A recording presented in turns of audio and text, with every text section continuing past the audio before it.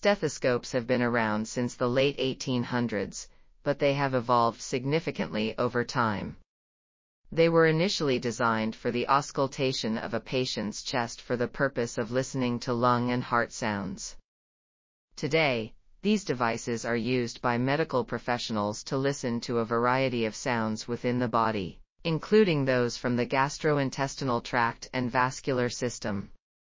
In addition, stethoscopes are increasingly being used for telemedicine due to the COVID-19 pandemic.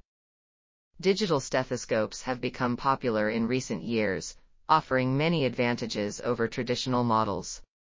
This paper reviews the current state of the art in stethoscopes, with particular emphasis on digital stethoscopes, and discusses how they can be used to improve healthcare delivery. This article was authored by Jun Jiasea, Jiale Zhao, De Yun Wang, and others. We are RTCL.TV, links in the description below.